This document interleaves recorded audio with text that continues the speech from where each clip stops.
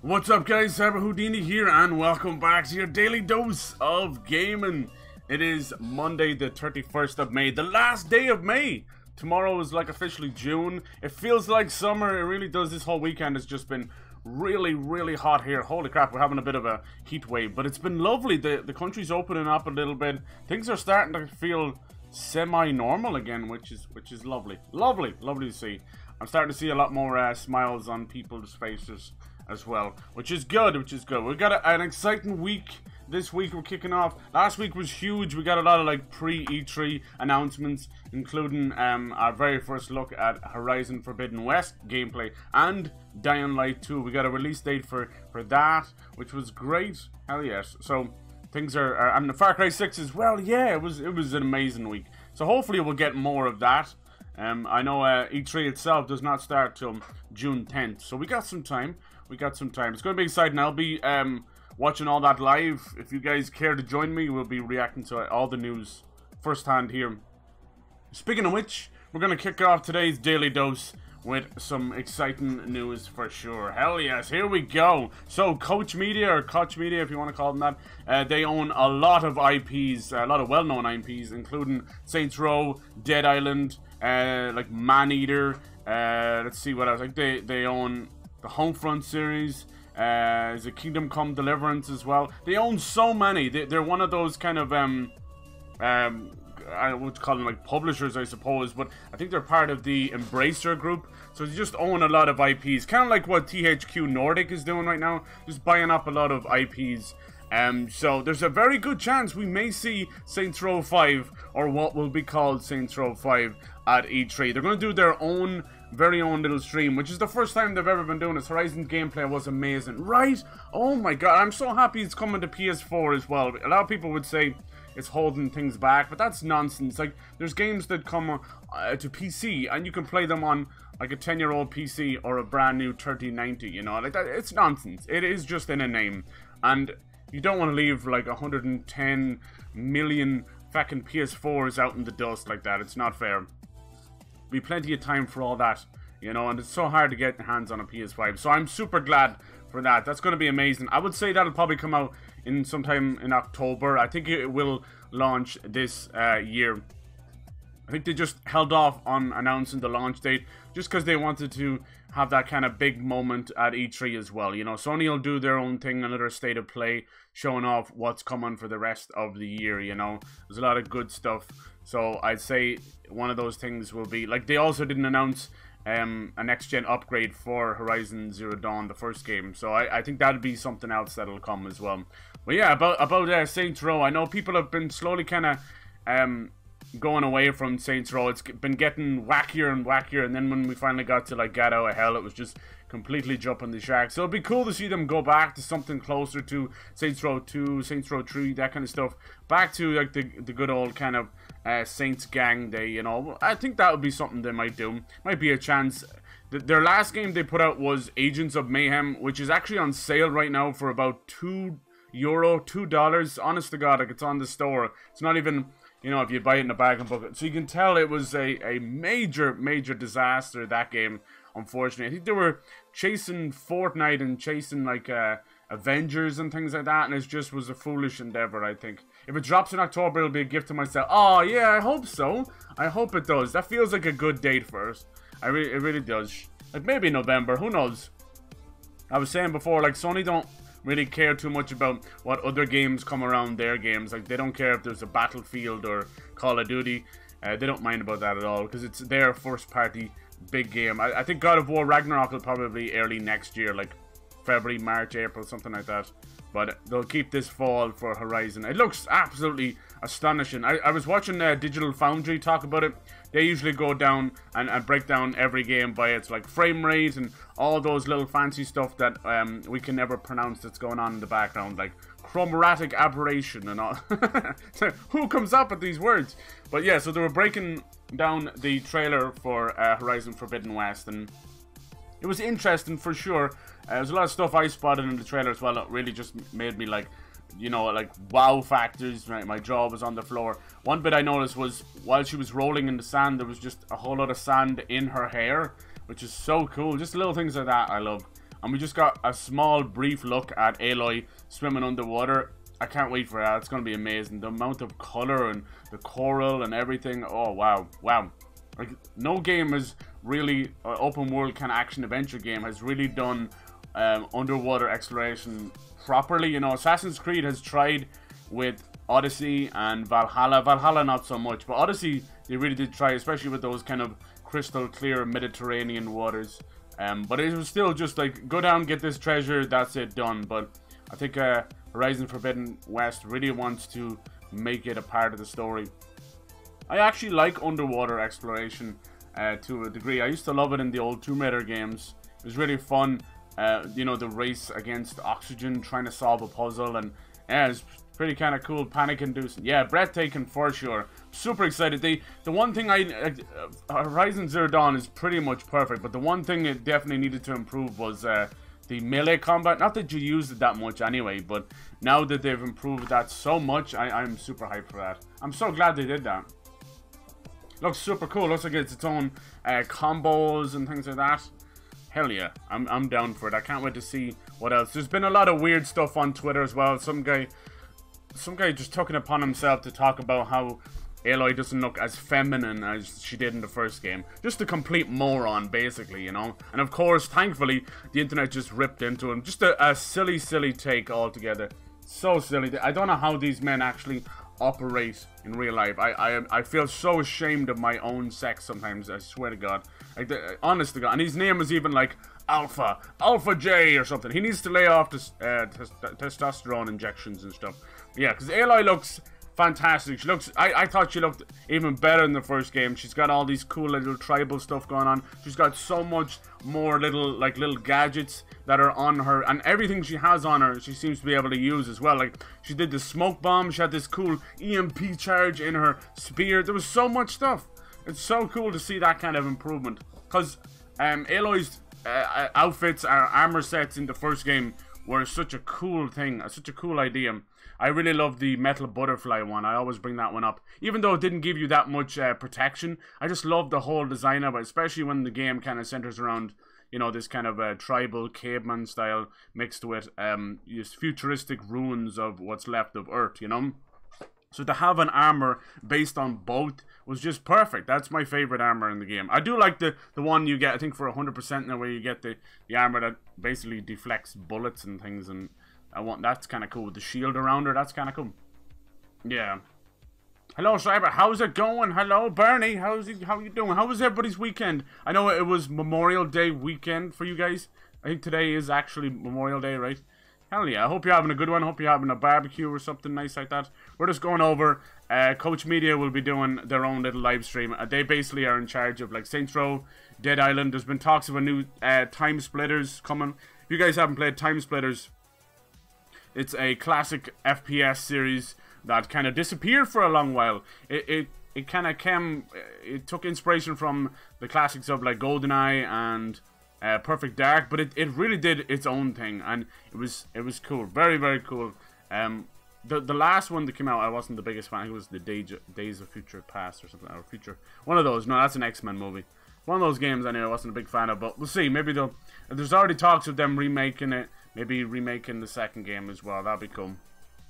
We'll see how that goes. Yeah, like I was saying, they they they also um, own like the Homefront series and uh, Man Eater, and uh, I think they own or published at least uh, Kingdom Come Deliverance as well, which was that uh, medieval game, kind of like uh, Oblivion and that, you know. Weekend was decent, lovely, lovely. So yeah, they'll be doing this. It's called a primetime gaming stream, June 11th uh, which will be slotted in very nicely with uh, the IGN Game Fest. Uh, we'll have so much, so much going on. We'll also have um, Geoff Keighley's Summer Game Festival. There's just so much going on. I can't wait. I'm super excited. Holy hell. There was even talks of a new Metro as well. I think they're in charge of that as well. We'll see. They've just recently done an enhanced edition of Metro Exodus. If you haven't played the Metro series, I, uh, I know you're a fan of uh, first-person survival games like Fallout and, and things like that. I, I definitely recommend those games. They're fantastic, especially Metro Exodus. It really takes it into the next gen. It felt like the, the leap between The Witcher 2 and The Witcher 3. I was blown away by it. I love it. I, I would play it again for sure. Um, so yeah, we'll see where they go with that. Now I had ended that game in a very good ending, so I don't know if they can bring it forward. But I'm glad for them. That's um, I think they're Ukrainian studio, 4A, I believe. Um, uh, and yeah, they're, they're, good for them. You know, I like to see there's so much talent coming out of Eastern Europe. It's amazing to see. All over the world, there's so much talent. I'd love to see it. So yeah, it's nice. Whenever these guys start doing their own uh, streams, I know it might feel like a lot of stuff to catch up with, but they tend to try and keep them all nicely slotted together, you know. Like we had Dying Light and Horizon pretty uh, well together. It was like an hour in between, so that was fun. I don't mind that kind of stuff. It gives you enough time to breathe. And the way things are going with E3 this year, which is all digital, uh, they're just everyone's doing their own thing, and I think it works out for the best. Uh, trust me, to keep all these kind of announcements together, nicely packed into a stream, is so much better than having to basically hunt down every little piece of news um, on the internet. It takes too long. It takes and, and and games end up like falling through the cracks. So yeah, keep an eye out for that. Hopefully, we'll get new uh, Saints Row news. I know Agents of Mayhem was a, a bit of a failure, so we'll see. You playing some Remnant from the Ashes, Barney? Very nice, very nice. You enjoying it? I want to get their their next game, which is uh, Chronos from the Ashes. All right, there was a, a brand new uh, Japanese trailer for Tales of Arise. This is the new game in the Tales series. Any JRPG fans out there, this game looks astounding. Like we we've definitely gone to the point of the Tales series where they needed an upgrade, and this game really, really, wow! It puts it puts so many other series to shame, and I can't wait for it. So uh, a lot of the, this trailer is just showing off a lot of the the arts, which are very famous in um, uh, the Tales series. But it looks it looks incredible. This is coming out in September. We've already got our uh, main characters.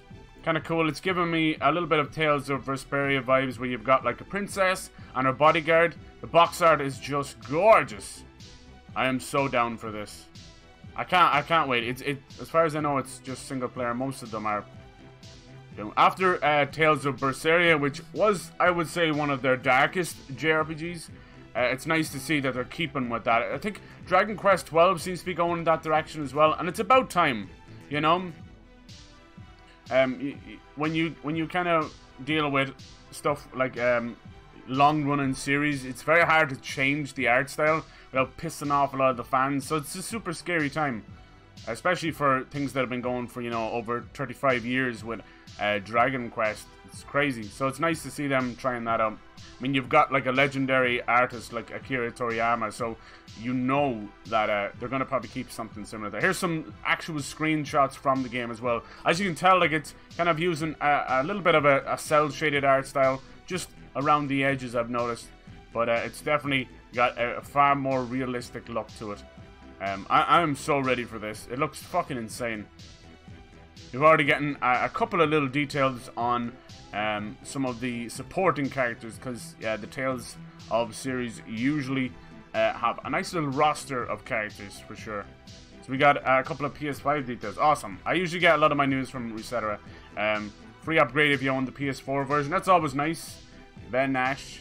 Load time when you enter battle. Okay, cool. Performance mode 60 frames a second on the 4K mode. Lovely. Awesome, awesome, awesome. Alright, cool. I am so down for this. So this is coming out in September. Hell yes. Alright, cool. I've been enjoying it. Yeah, I just recently picked up the um the DLC. Because it went on sale randomly again, so I said, fuck it. It's like five bucks each. So I'll eventually get around to playing that. Today we're going to be playing a little Biomutant. It finally came in the mail. Yay! So I'm going to try and make Gizmo from the Gremlins in Biomutant. We'll see how that goes. I'll be fun. Alright, a little bit of a leak. I'm not even sure if I'm allowed to show this, but uh, Two Point Campus leaked over the weekend. This is from the developers that just released Two Point Hospital, which is a hospital simulator. There, this is probably going to be one of their big E3 um, reveals.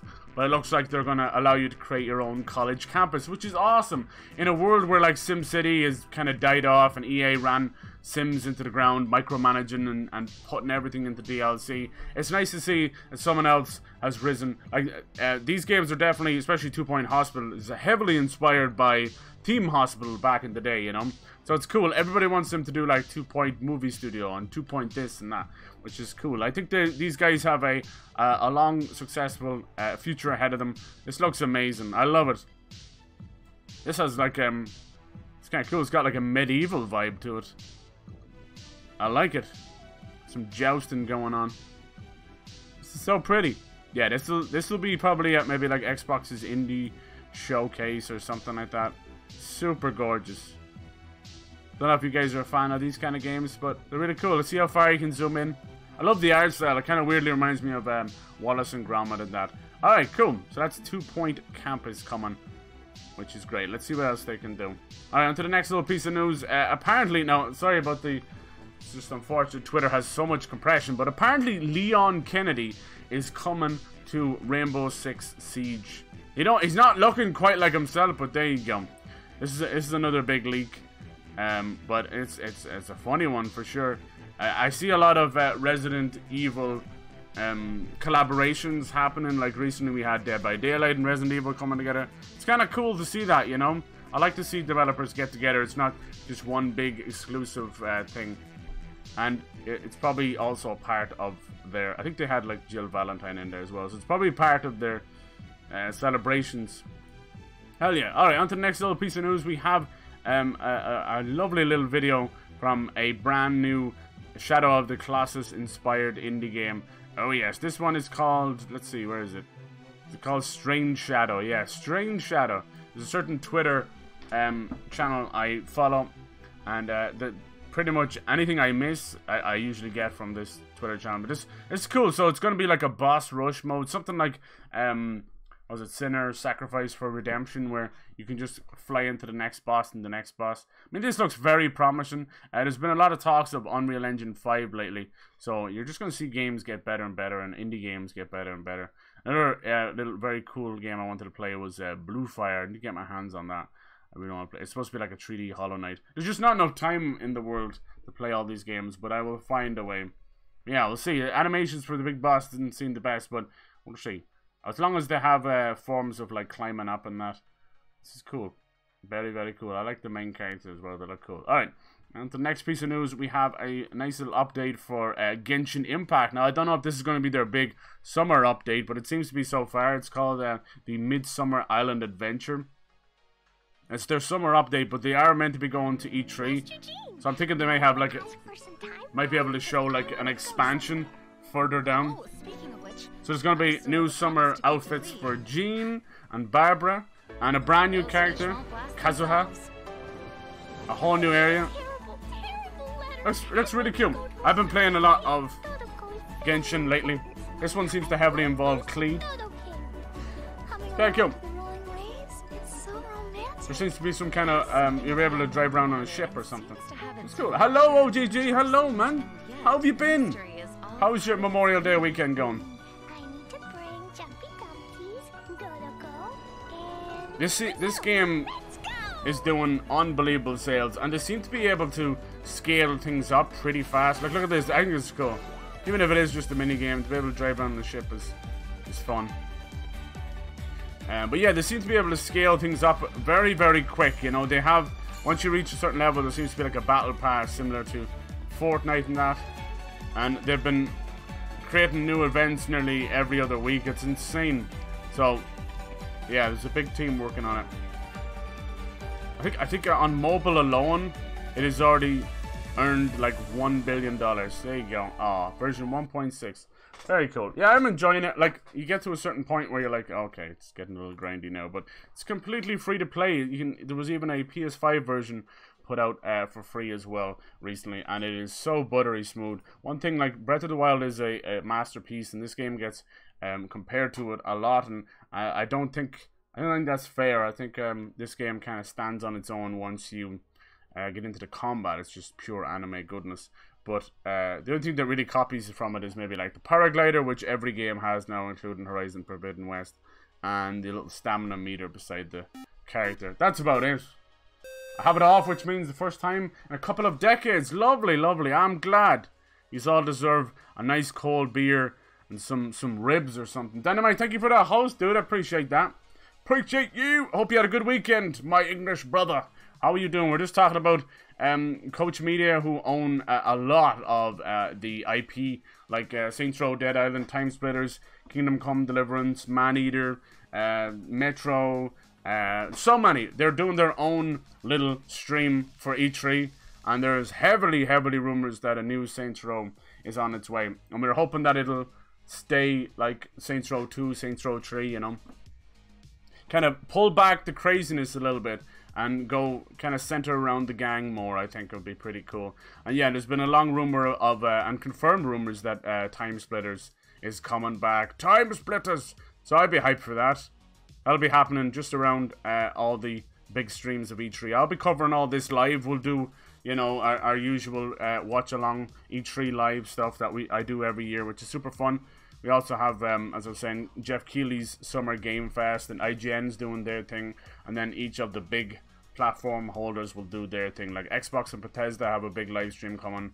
Uh, Sony will do State of Plays, and Nintendo will do their Nintendo uh, directs and tree houses and all that stuff. So yeah, it's going to be huge. We've already got massive news last week with Dead uh, Dying Light uh, 2, uh, Far Cry 6 coming in October, and we had uh, Dying, yeah Dying Light 2 coming in December, and then Horizon Forbidden West gameplay. So it's just it's all popping off. It's been so warm here. I love it. It feels like summer. Played some Control yesterday. Very nice, very nice. I'm glad you're enjoying it, man. Wait till, wait till you get a, a certain power. It'll uh, change the game for you. Red Bull and burgers for me. Sober for seven years. Oh, nice, dude. Congrats. Congrats. No, I know a lot of people who don't bother with that. Like, even me, like, I'm your typical Irishman, but I, I don't, I could take it or leave it when it comes to beer and, and drinking in general. I'm, I'm all good. I am the way I am. Alright, on to the next piece of news. Some great news. A bloodstained ritual of the night there's meant to be a sequel in development. This is done by the legendary creator himself, Iga, and, and of course, uh, we, we all, like, you know, wondered what would happen after, you know, Castlevania, would we, we ever come back, but he's he's out doing his own thing, he's done Bloodstained Ritual of the Night, then he's done like a 16-bit version with Bloodstained Curse of the Moon and Curse of the Moon 2. They're absolutely fantastic games, you know, this is where Metroidvania got its motherfucking name from, you know? Every single 2D uh, hack and slash game has borrowed its whole blueprint from. And I'm so glad to hear this. It, it, it definitely deserves it for sure. Ahoy, Cyber. Hello, DPG. How was your weekend, man? How's that new PC treating you? Are you still on the Halo binge? I hope you are. I can see your Halo. So, yeah, this is great news. Absolutely great news. I'm not sure, like, yeah, they were saying that the original was kickstarted. That was a, a big reason why it ever happened in the first place. Uh, Bloodstained was one of those games uh, along the same lines as things like Mighty Number no. 9 and that, where uh, Kickstarter went through, like, a really bad period of games just either not working out, uh, people running off with the money, or you know, getting way too much money and then bringing out something that was just a complete clusterfuck. So it was, yeah, I, I think um, you know, it's great to see a success story like this. For real. And I'm, I'm happy to see where that goes. I haven't played it on the channel. Absolutely loved it. They nailed every little piece of it. If you haven't played it, most likely you can get it on sale. It's pretty much on every single platform right now. So play it. Enjoy it. Drinking isn't the problem for me, but stopping is. Ah, I see, I see, yeah. I feel you. I'm on mission 8 out of 10. In the game? Damn. Have you, so have you unlocked that big ability? I don't want to spoil that.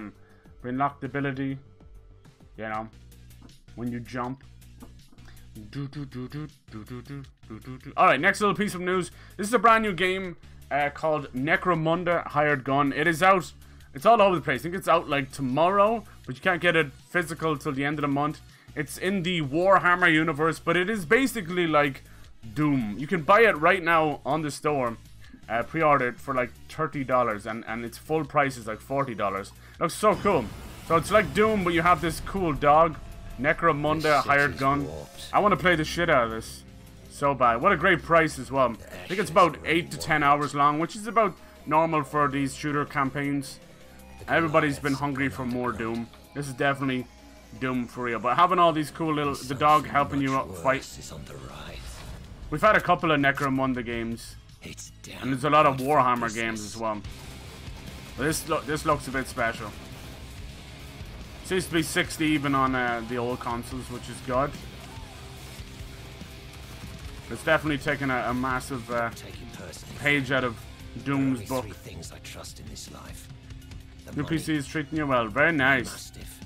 Looks like you can customize your little doggy. So yeah, if being Warhammer, you're gonna see a lot of rust and steel everywhere. Haven't been playing much Halo since I beat Reach. Noise. This be massively gruesome uh, executions as well. Yeah, that's Necromunda. Look at that dog. I like the name as well. It's it's based on a there's a whole like series on it, a whole like uh, figurines and board games and all that kind of stuff. Cool. You unlock that power. How cool is that? They should have given you from the get-go. Oh, I love it so much. I didn't want to spoil it for you. Being able to fly around, holy shit, that's awesome. So many games that hold off superpowers like that till the like the last couple of hours of the game. You're like, thanks. Like uh, in Concrete Genie, there's something that changes the whole game at the end. You're like, why didn't you give us this the whole game? So cool. All right, so these are a couple of games that are coming out this week. Seeing as it's Monday, we might as well go over what's coming out this week. And one on the list is the Ghosts and Goblins remake. It's Ghosts and Goblins Resurrection. This is actually coming out this week. If you if you haven't played this game, this is a classic Capcom game. It's um yeah, it's known as one of the hardest games to ever exist, and it's well known for you running around as the little knight and having your armor fall off and you run around your boxes. It's quite fun. But yeah, it's cool that they're bringing this back. Um, I like to see this kind of stuff happen. Capcom are obviously making a shitload of money with Resident Evil and, you know, Monster Hunter. So it's nice that they're paying their dues as well. That's why I would love to see, like, things like Dino Crisis come back. This, this is what I was saying before, you know, if, if your if your um, your games are doing well, if a publisher's doing well, you know, it's nice to remake games for sure, because they do a lot of that for money, but it's nice to make certain games just for the fans as well. And this game is one of them. Like, you don't expect this game to sell millions, and there's a lot of newer fans that just will not play 2D games. I've seen it. Like, they're, it's Fortnite or bust for so many people. Um, so, you know, this is definitely a love letter to the fans, and I appreciate that, you know. It looks fantastic. It looks absolutely fantastic. I'm not sure what the pricing is on it. Give me a second here, I'll have a look. I, I can't see it being too expensive. But uh, super cool. Now maybe they'll bring back like Super Ghosts and Goblins or something. Who knows? It says Switch there, but I'm not sure it's coming to other platforms. Let me double check that as well. Yeah, we got Switch, uh, PlayStation 4, Xbox One, and P and Steam. So yeah, even though it says uh, Switch down, it would be probably best on Switch. That's what I think. It's all good. Alright, right now I have it at 24 pounds. It's probably like $30, which is a little bit. But yeah, ads, it's probably worth it. It's probably got all sorts of cool stuff in it, you know. It's worth it to play again. Pricing's always rough on, on smaller scale games, but I mean, these kind of game, you you pick it up and play it on your on your Switch. You know, you could get thousands of hours out of that. What's the next game you're gonna play on uh, on your PC? So that's Ghost and Goblins Resurrection. That's coming out this week. Next uh, on the list we have this very cool game called The Last Kids on Earth and the Staff of Doom. A nice little indie game. I try and promote indie games as much as I can because um, they're all fighting for just their moment in the sun, and this looks really cool. Looks like it's a, a nice little uh, co-op game. Kind of reminds me of um, uh, Zombies Ate My Neighbors or, or Plants vs Zombies or something like that. Last kids on Earth. And the Staff of Doom. I don't know if this is an old remake or something. Why do I get the feeling like it is?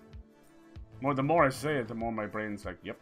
I know they're trying to bring um, Zombies Ate My Neighbors back. There's some kind of like spiritual successor game on that.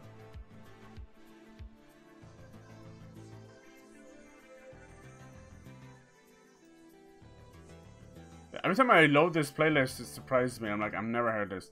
Yeah, I'm usually talking over it, so anyway. So yeah, it seems to be... Can I say is it like four player online? Recently I, well, was probably a couple of years ago now, but played uh, Crossing Souls, which was pretty special. We're going to be playing some Biomutant after this. It finally came! And uh, I'm going to try and make Gizmo from uh, the Gremlins in it, because you have the power to manipulate your DNA and make your own little guy.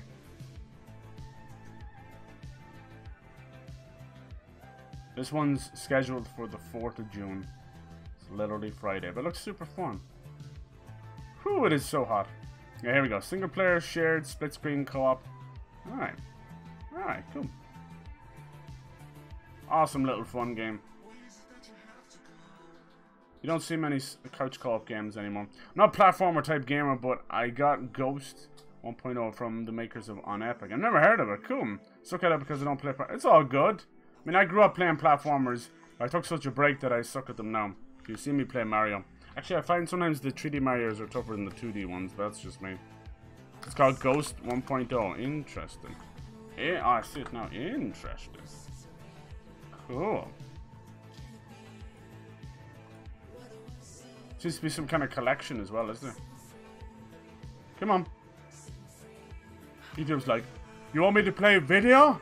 Oh, we can't be doing that. Goddamn website. Time to think it's Chrome. Alright. This is Ghost 1.0. Very nice. Very nice. Oh yeah, you can get Ghost 1.0 and an Unepic collection. Very cool. Another Metroidvania. Sometimes I wonder do some of them use that just... Usually what makes it the Metroidvania is when you get powers and you go back to old levels and open up doors you couldn't before. That, in, in a nutshell, makes it that. But you know, usually comes with the whole idea of uh, being 2D and platformer. Yeah. Alright, let's get in, let's see some gameplay of this. Is there gameplay? Sometimes they might not have them. Oh wow, oh it's very detailed. I like that, it's kind of 2.5D. Oh, look at that map. Yeah, that's straight up. Yeah, the, a map like that, that's straight up Metroidvania right there. Hell yeah. Nice. Well, I like when uh, you get point damage. Tell you one thing, I was playing that Carrion game, which is basically like reverse reverse hero game. You play as the monster killing all the scientists. That was so much fun! Yeah, I, I love how colorful this is. Actually kind of reminds me of Cross Souls a little bit. I try to discover... That song always reminds me of that. Alright, next little piece of news. We have... We did the last King uh, Kids on Earth and the Staff of Doom. This one I thought was really cool. It's like a mech shooter. It's called Wing of Darkness. Straight up mech shooter. You know, I'm a huge fan of, of mech shooters, and I do want to play Zone of the Enders on the channel soon enough. This one looks awesome. Like, especially in the world, I was just talking about it, but the Panzer Dragoon remake did not fare too well. That was just kind of pooped out, which is super sad, because you don't see these kind of games anymore. And it makes me sad. So it's nice to see this. This is called Wing of Darkness. Looks kind of wild. Kind of like a mech suit. Oh yeah, nice, some nice dodging. It, the targeting system actually reminds me of uh, Metroid Prime a little bit, where where you aim the camera, the the aim is actually where you move. So it kind of looks like it's on rails, but it's not. Maybe you're just always moving forward. Uh, let's see. My only gripe with controls, wish was better optimized. I it crashed twice. Oh, that's that's weird. Yeah, that's unfortunate. Th that's just that's another one of those games they push ray tracing. That's another one of those games that just really. We're, we're at this point where these old consoles, these eight-year-old consoles, are just not been able to do it. Like I, I, I well believe that this is going to happen with Horizon Forbidden West. People have already been talking about. It. It's like how the fuck are they going to render this on this old ass console? You know. So what'll probably happen is they'll push it back down. I think some of those options should be there for the old consoles and they're not. They want you to have like a Xbox One X. They should allow you to do like performance mode and quality mode even on the old consoles. Because I'd be okay with pushing things back to 720p if it allowed it to be, um, uh, you know, crystal clear. But I, it crashes sucked, dude. It really does. Luckily, I have not had a, a game crash on me on PS5 yet. I break games all the time though, but they've never crashed me to the dashboard yet. I, have ha I've had to go out to the dashboard myself though. I suppose the same thing. I'm sorry that's happening to dude because it can make you think about. They'll they'll have a big uh, E3 as well, Remedy, but they've always kind of been known to do things on their own. Have you played um Quantum Break Dynamite? I think it might still be on uh, Game Pass. Maybe it's not. That's their uh, their other game. You should give that a shot. It's really cool. Um, the live action TV show part was a bit wild. But uh, they are working on over five games right now. They're doing a single-player campaign for Crossfire X, which is a military shooter that is meant to be multiplayer only, but they're doing this hugely cinematic um, story for it, which is really cool. And then they have a couple of games they're working on for Epic. There's rumors that one of them may be Alan Wake 2. Control will probably get... Uh, I think it actually... They, they hinted that Control is... A sequel is in uh, pre-production you know? Yeah, Quantum Break super fun. So it's also a third-person shooter, but you have time manipulation powers. So they, they like to do that a lot. Each of their games has a different dimension, basically. So Quantum Break is time manipulation. Control is matter. Matter. So you're manipulating shit all over the place and you're messing with dimensions. And then Alan Wake is like messing with your mind. It's like psychological stuff. Supernatural. I also just got MechWarrior 5. Nice, nice. Hell yes. I'd love to see them bring back Armored Core, but that is from software. and they are so busy with, you know, Elden Ring and who knows what else. Um, I don't know what's going on with From Software, but if I was them, I would be stepping up production like crazy, you know? Like, they are, they are just world renowned. Everybody wants their games, so they should they should like triple their studio. But see, that can lead to dilution and uh, uh, dip in quality. So it's, it's super tough. But well, like we're almost nearly four years after Sekiro now at this point, right? Well, it's a good. Well, probably not that long, but it feels that long. But even I was saying that about um, Horizon Forbidden West. People don't realize it, but by the time it comes out, it'll be four and a half years since Horizon Zero Dawn. Isn't that wild? Like time has gone out the window, and I know 2020 in terms of development doesn't really count because how bad COVID just ruined everything. So I understand that, but still, like for a sequel, you know, you hate to see it. Some back in the day, the Crash games, the Spyro games, they were coming out every single year, and you've had like Call of Duty is well known to most of the developers. Uh, and Madden and FIFA and all them, they used to have like nine months of development because they needed to get it out every year. So it would only be nine months of development and like fucking marketing and all that and you know trying to think up the ideas. So it's crazy that you see that and most so usually a sequel if it's based on the same engine will be around two years usually you know give or take but like I said yeah 2020 is it's just unprecedented all right cool on to the next little uh, game we have coming out this week it's called Astalon Tears of the Earth this one's kind of cool. Nice little 2D platformer. Very colorful. Very catchy music as well. I love it. If you're fans of like Mega Man and um, like Shovel Knight and Celeste and all those, this looks pretty cool. Astalon. Tears of the Earth. This guy straight up looks like Mega Man. Three unique characters, which makes me think of uh, Trine. Trine was super cool at doing that. They're great games.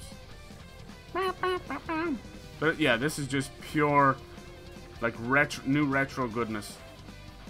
It's cool all you guys are trying new games and that. I always say, you know, if you ever have a bit of downtime or you're not really interested in buying any of the new games or they're too expensive, it's always nice to try something. Because most of us have a laundry full of, or closet full of uh, games, you know, laundry list of games. I know I do.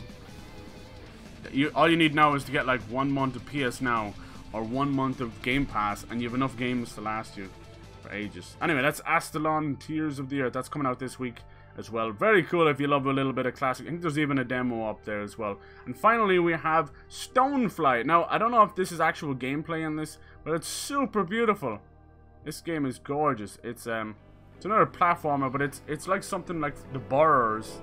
Just pure nature goodness. A very unique art style. Very special looking game. You know those indie games that really just light you up? A stonefly is an actual fly, I believe. But in this case, it's like a, she's got her own little robotic thing. Like, look at this. Does this not look like an anime? God dang. Like I was saying, I'm not sure when the gameplay actually kicks in. Looks like it, it's definitely hand-drawn.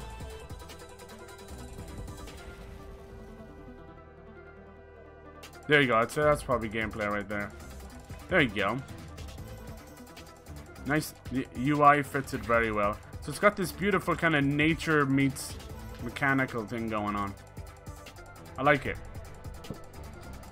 Especially with the uh, Grounded that we had recently came out, uh, which is basically Honey I Shrunk the Kids. That's a super fun game. I, I enjoyed that. I played it while I was in early access, so it was a little bit oof. Um, and, they even added like a, a an arachnophobia mode where that you could get rid of the giant spiders in it. Good God! Hello, how's it going, Eric? Oh, you guys are so nice for coming in. I know most of you have the day off today. I hope you're spending it well. Yeah, it is pretty early. Yeah, I always forget. So you guys are like eight hours behind me. It's almost 7 p.m. here. That's crazy. Time zones suck. We were just checking out a couple of new indie games coming out this week. This one's called Stonefly. I like it.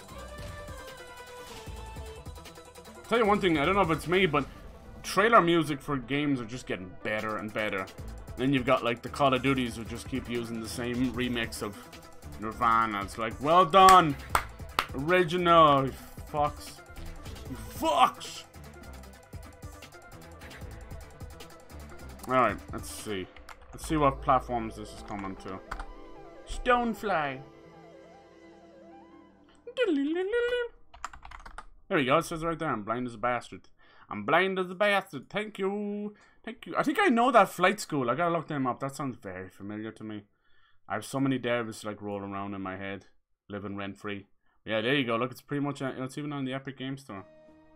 What did flight school do? I'm so sorry. I'm so stupid. I, I know them from something. I feel like maybe I'm thinking of night school, which was. Boop. Boop. Oh wow, no, they did Creature in the Well. Creature in the Well is such a great game. It's basically um, a hack and slash pinball game. Uh, Creature in the Well is one of the more unique games, indie games that have just completely flew under the radar. It is on Game Pass. Oh, you've got to you've got to play Creature in the Well. So unique. So think hack and slash, but pinball. Hello. Having to ricochet all the goodies. Let me get into it. And the art style is pretty beautiful too. Look at this. You can get all this stuff going in the middle of combat as well. Something very sci-fi about it. I love it. It's a really unique idea, right? This is what we need. These are the developers we need to support. I love it. Very, very sci-fi. It's got the sci-fi comic book thing going on. I dig it. Creature in the Well is this one. This one's out a little minute, like a year or two. But it's on the Game Pass. No excuse. I played a little bit of it, I think I did. Boop. So they're they've already they're already working on their new game, which is called Stonefly. These guys don't mess around. Wow. Wow. Flight School is their name. Very cool. My god, that is just pure talent. Never seen a dev put out games so fast. My goodness. Now you kind of see where the art style is coming from. Their their their uh, game artists are stunningly talented. Wow. All right. Oh yeah. Almost 11 a.m. Damn, that's crazy to me that I could be having my dinner and you guys having your breakfast. Titan Souls, yeah, yeah. Not since four half. Oh my god. Yeah, that's the worst thing. If you're up at that time every day, when you finally get a day off, your body's like, yeah, so? No, I feel you on that. This is really cool. Looks like combat is... It kind of weirdly makes me think of Pikmin, but it's all mechanical. Hell yeah. So that's Stonefly. Lots of great games out. Um, yeah, keep an eye out on Necromunda. I'd love to play that one. Good price too. So that was today's Daily Dose of Gaming. Beautiful. Thank you for joining.